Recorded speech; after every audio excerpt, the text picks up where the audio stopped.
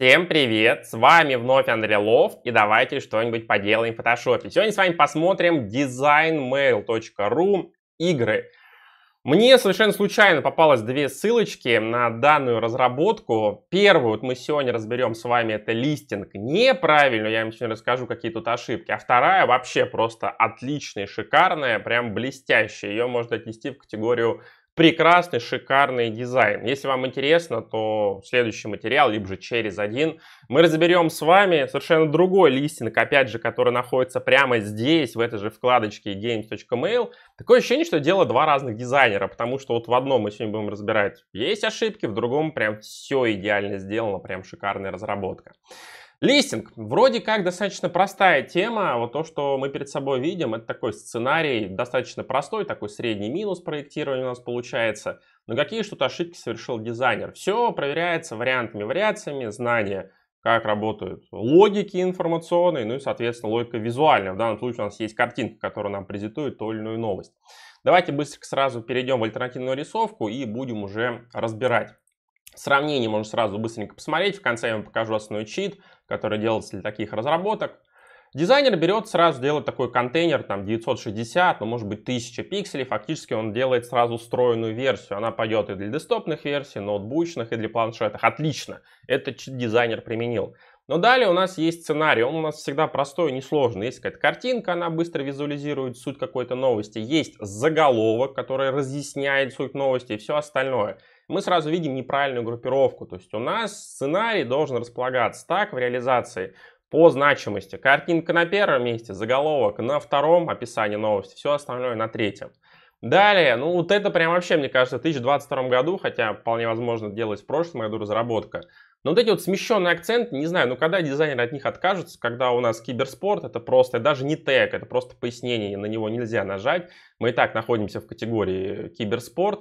Везде мы заливаем, фактически выглядит это как кнопка синим цветом, пишем киберспорт. Может подумать, пользователь не понимает, что он уже находится в категории киберспорт, и ему это не требуется. Значит, мы не должны снимать с вами акцент с основных двух блоков сценария, именно картинка и заголовок. Если это знать, а дизайнер просто должен знать, он сразу приходит к другому расположению информации и непосредственно к другим акцентам. Картинка на первом месте, дальше у нас заголовок на втором месте и только все остальное у нас на третьем, на четвертом. И если дизайнер хочет использовать там вот какие-то таб, вот эти прямоугольники со скруглениями, он должен решить в единой дизайн-системе, как у него визуально отличается один блок от другого. Например, кнопки, с которыми пользователь может производительствовать, будут иметь стопроцентное скругление, а, допустим, какие-то пояснения, теги, фильтры должны иметь другие типы скругления. Предположим, просто пояснение имеет скругление 6 пикселей, а если можно производительствовать это какой-то фильтр, то пусть это будет 12 пикселей. Визуально должны отличаться, то есть у нас получается такой эксклюзив по восприятию. Вот как только дизайнер это просто во голове прошел, не относится к реализации, вот он это сразу будет применять. И в сравнении это сразу видно, что вот эти вот синие пятна, эти залитые кнопки первого порядка, они смещают акцент. Вместо того, чтобы человек смотрел картинки, читал заголовки, картинки, читал заголовки, человеку в данном случае так или иначе в сознании приходится убирать смещенный акцент. Синее это пятно, и уже дальше через призму этого смещенного акцента воспринимать информацию. Далее, раз мы выставили с вами заголовок, заголовок должен быть в хорошем размере. Он взаимодействует с контентом, то есть контент, заголовок, заголовок, контент. Здесь тоже такое простое правило, это выбор размера шрифта. Шрифт, безусловно, тут будет информационный гротеск, то есть зауженные у нас э, буквы, буковка О стремится к эллипсу, ну вот у меня Интер, у Мейла там робота, братья-близнецы шрифты. Верхняя граница современного хорошего информационного портала 22 пикселя. Просто легко запомнить, и если мы даем плюс начертание 7 бол, то мы получаем хороший заголовок. Можно, конечно, делать 20, 18, но жертва размера мы напрямую жертвуем восприятием как раз заголовка и взаимодействием с контентом. А внизу я вам далее покажу чит, как можно вот такие стройные контейнеры, это хороший такой момент, как можно еще усилить. Выставляем 22 и от этого уже начинаем проектировать, от этого начинаем строить. Следующие текстовые блоки сценария информационные, они как раз идут уже по нисходящей. Если у нас есть какие-то табы, здесь прям ставим, можем классическую 16 пикселей поставить. Вот он уровень. То есть это не основной текст, это не является заголовком. Это уже какие-то пояснительные блоки. Здесь у нас табы, здесь какой-нибудь синий, опять же, каркасный блок. Если мы хотим выглядеть, это должен быть каркас, не должно быть смещенного акцента, яркого залитого цвета. Рядом можем поставить новость. Появляется свойство цвет серый, отличное от того, что использовал дизайнер до этого. Задается вопрос, а зачем мы здесь используем серый цвет?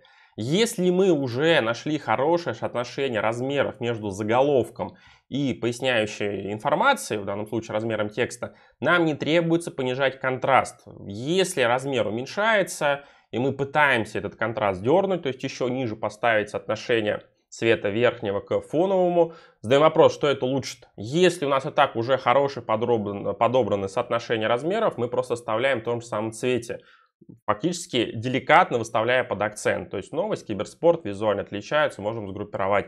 Пока серый даже близко не появляется.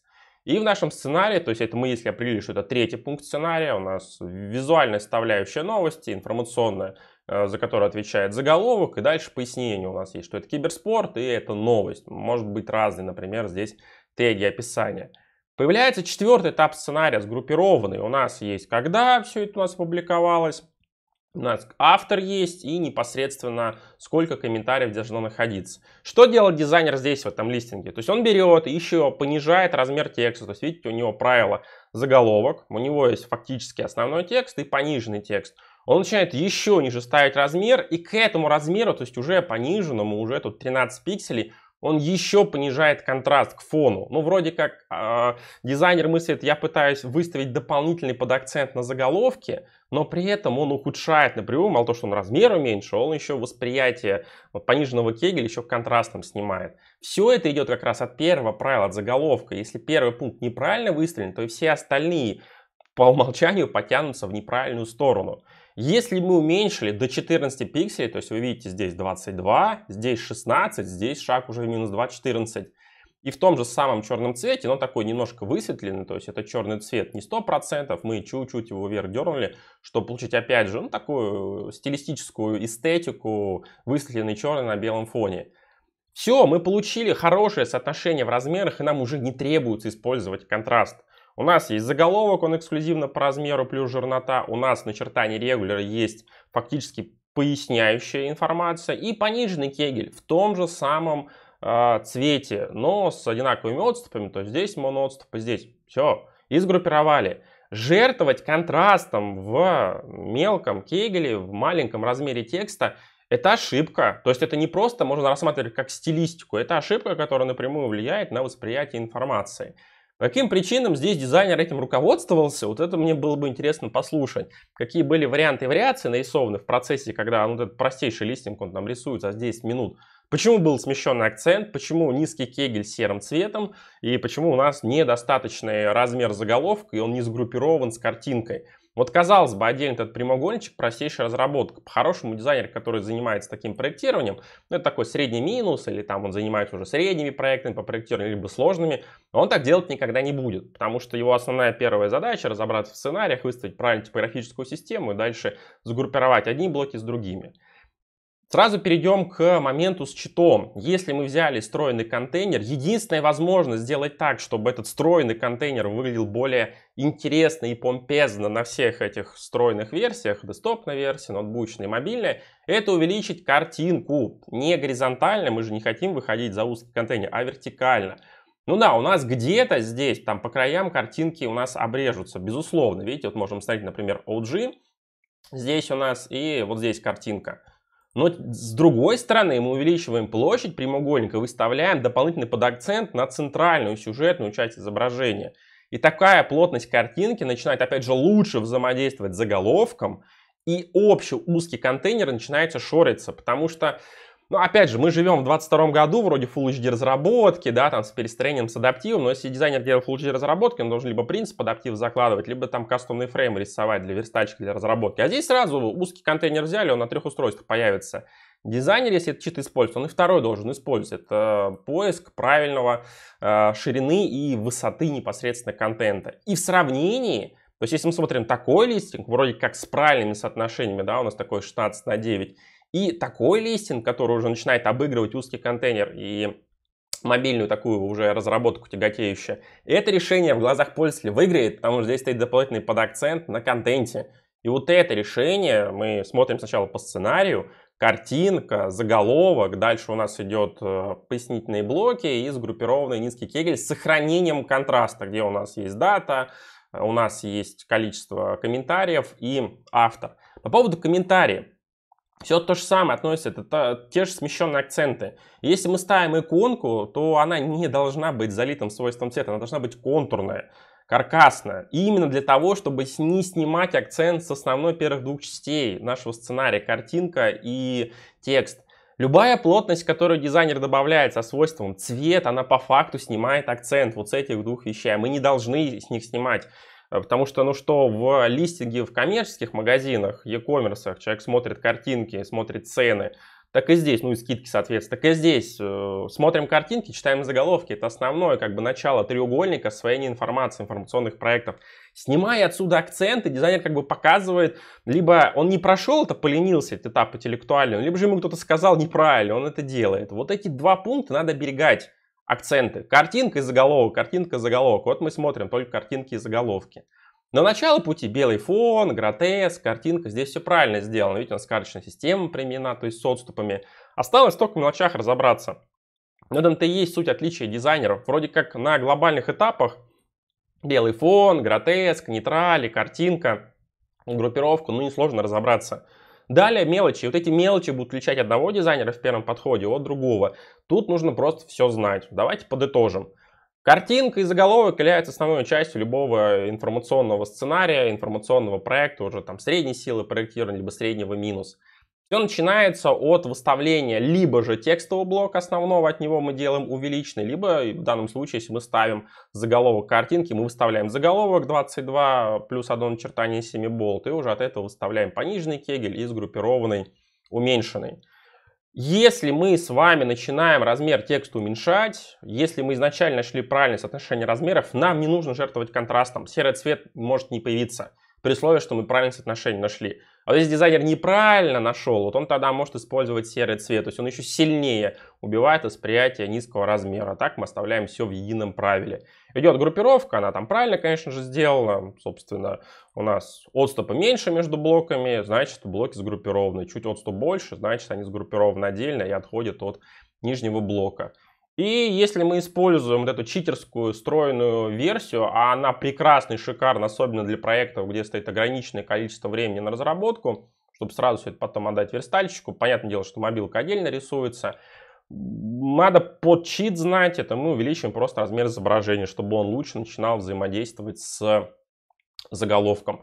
Вот и все. Даже на примере несложного сценария можно всегда пройти день интеллектуальной деятельности дизайнера, понять, где он что сделал не так, где он сместил акценты, где у него по э, пространству, может быть, есть какие-то там замечания, хотя тут по пространству сделано хорошо.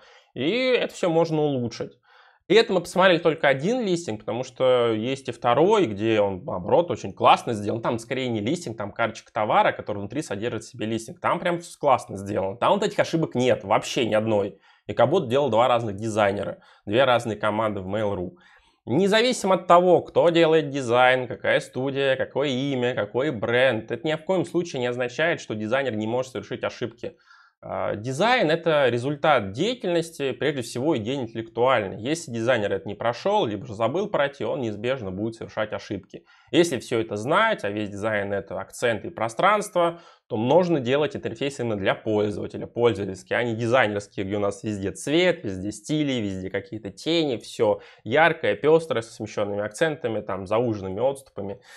Это все, конечно, в 2022 году нужно быстренько уходить от этого. Но надеюсь, что ролик вам был интересен для дизайнеров, которые этим занимаются. Они очень быстренько все это прошли, сами считали решения, которые нужно было дожать, представили, какие вот эти вот моменты можно сделать лучше. Ну и, конечно, надеюсь, что чит в встроенном контейнере вам поможет. Всегда ищите увеличенную картинку вертикаль. Делайте ее чуть больше, да, вы вроде как кадрируете, но при этом под акцент стоит на контенте. А на сегодня это все. С вами был Андрей Лов. Всем пока.